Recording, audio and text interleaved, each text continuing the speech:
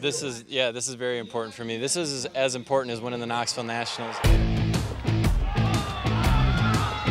I had to tone it down a little bit. I came in pretty serious. I think my ribs are bruised and I got a little internal bleeding. So uh, I'm winding down now, but I was pretty serious when I got here. We have a lot of heart. I mean, Ian's dripping with sweat or water. I'm not sure what that is.